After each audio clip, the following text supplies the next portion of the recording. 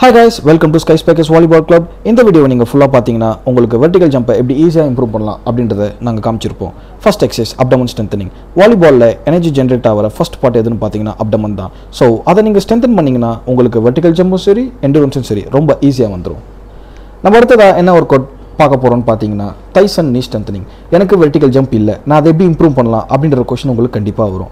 நான் ஜிம் போய் தான் என்னோட மசிலை இம்ப்ரூவ் பண்ணி வெர்டிகல் ஜம்பை கொண்டு வரணுன்றது ஓல்ட் ஸ்டைல் ஸோ இந்த மாதிரி ரெஸ்டன்ஸ் பேண்ட் வச்சு நீங்கள் பண்ணுறப்போ உங்கள் லெக்கோட இன்னர் மசில் நேச்சுரலாக டெவலப் ஆகி உங்களுக்கு வெர்டிகல் ஜம்ப் இம்ப்ரூவ் ஆகும். அட் த சேம் டைம் உங்களுக்கு எந்த ஒரு பெயினும் இருக்காது எந்த ஒரு டேமேஜ் டு த நீ பார்ட்டும் இருக்காது. ஸோ இந்த மாதிரி ஒர்க் அவுட்ஸ் பண்ணுறப்போ உங்களுக்கு ஃப்ளெக்சிபிலிட்டியோட வெர்டிகல் ஜம்ப் இம்ப்ரூவ் ஆகும். நம்ம அடுத்து என்ன ஒர்க் அவுட் பார்க்க போகிறோம்னு பார்த்தீங்கன்னா upper body strengthening exercise so இந்த மாதிரி ஒர்க் அவுட்ஸ் நம்ம எதுக்குன்னு பார்த்தோம்னா எனக்கு நேச்சுரலாக ஷோல்டர் பவர் இல்லை எனக்கு ஏர் ஸ்டாண்டிங் இல்லை அப்படின்னு நினைக்கிறவங்களுக்கு இந்த மாதிரி ஒர்க் அவுட்ஸ் பண்ணிங்கன்னா உங்களுக்கு எல்லாமே ஈஸியாக வரும். ஸோ இதை நீங்கள் பண்ணுறப்போ நீங்கள் தேவையான பவரில் நீங்கள் ஜென்ரேட் பண்ணி பாலை ஈஸியாக அட்டாக் பண்ணலாம். நம்ம அடுத்ததாக என்ன ஒர்க் அவுட் அப்படின்னு பார்த்தீங்கன்னா shoulder power for attacking so இந்த மாதிரி ஒர்க் அவுட்ஸ் பண்ணுறப்போ நம்மளோட ஷோல்டர் பவர் நேச்சுரலாக இன்க்ரீஸ் ஆகும். அட் த சேம் டைம் ஃப்ளெக்சிபிலிட்டியும் சரி ஆம் ஸ்விங் பவரும் சரி உங்களுக்கு ரொம்ப பவர்ஃபுல்லாக இருக்கும். ஸோ நீங்கள் அட்டாக் பண்ணுறதுக்கு ரொம்ப ஈஸியாக ஃபீல் நம்ம அடுத்ததாக பார்க்க போகிற ஒர்க் அவுட் யாருக்குன்னு பார்த்தீங்கன்னா பிளாக்கர்ஸ்க்கு ஸோ பிளாக்கர்ஸ் இந்த மாதிரி ஒர்க் அவுட் பண்ணுறப்போ அவங்களோட ஷோல்டர் பவர் டெவலப் ஆகும்.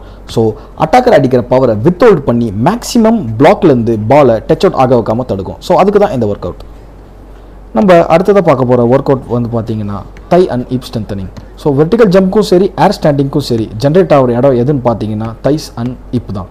ஸோ இந்த மாதிரி ஒர்க் அவுட்ஸ் பண்ணுறப்போ உங்களுக்கு ஸ்டெபிலிட்டியோட உங்களோட thigh and hip power develop ஆகும். நம்ம அடுத்ததாக பார்க்க போகிற ஒர்க் அவுட்டும் பார்த்தீங்கன்னா அப்டமனுக்கு தான்.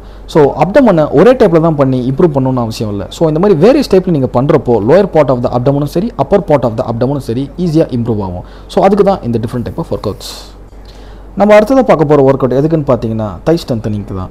தை ஸ்ட்ரென்த்னிங்லே டிஃப்ரெண்ட் வேரியன்ட்ஸ் இருக்குது அதில் ஒன் ஆஃப் த வேரியன்ட் இது ஸோ இந்த மாதிரி ஒர்க் அவுட்டை நீங்கள் பண்ணுறப்போ உங்களோட ஹிப்பும் சரி உங்களோட அப்பர் பார்ட் ஆஃப் த தையும் சரி இன்னர் மசில் நேச்சுரலாக டெவலப் ஆகும். அட் த சேம் டைம் உங்களுக்கு வெர்டிகல் ஜம்பும் இன்க்ரீஸ் ஆகும்.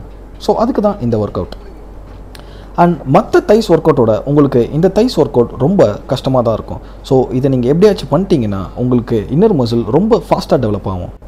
நம்ம அடுத்ததாக பார்க்க போகிற ஒர்க் அவுட் யாருக்குன்னு பார்த்தீங்கன்னா பிளாக்கர்ஸ்க்கு தான். ஸோ இந்த மாதிரி ஒர்க் அவுட் நீங்கள் பண்ணுறப்போ உங்களோட வெர்டிக்கல் ஜம்பும் இன்க்ரீஸ் ஆகும். அட் த சேம் டைம் உங்களோட பிளாக்கிங் பவரும் ஈஸியாக இம்ப்ரூவ் ஆகும். நம்ம அடுத்ததாக பார்க்க போகிற ஒர்க் அவுட் யாருக்குன்னு பார்த்தீங்கன்னா செட்டர்ஸ்க்கு ஸோ செட்டர்ஸ்க்கு மெயின் எதுன்னு பார்த்தீங்கன்னா ஃபிங்கர் ஸோ அந்த ஃபிங்கரை எப்படி நான் ஸ்ட்ரென்தன் பண்ணுறத கொஷின் உங்களுக்கு கண்டிப்பாக வரும். ஸோ அதுக்கு தான் இந்த மாதிரி slam ball workouts so இதெல்லாம் நீங்கள் பண்ணுறப்போ உங்களோட ஃபோர் ஜோன் புஷ் பவரும் சரி உங்களோட டூ ஜோன் புஷ் பவரும் சரி நேச்சுரலாக ரொம்ப ஈஸியாக டெவலப் ஆகும். ஸோ அப்போ உங்களுக்கு ஃபோர் ஜோனும் சரி டூ ஜோனும் சரி. பால் செட் பண்ணுறதுக்கு ரொம்ப ஈஸியாக இருக்கும் இந்த மாதிரி ஒர்க் அவுட்ஸ் நம்ம அடுத்ததாக பார்க்க போகிற ஒர்க் அவுட் எதுக்குன்னு பார்த்தீங்கன்னா தை ஸ்டெபிலிட்டியை இம்ப்ரூவ் பண்ணுறதுக்கு தான்.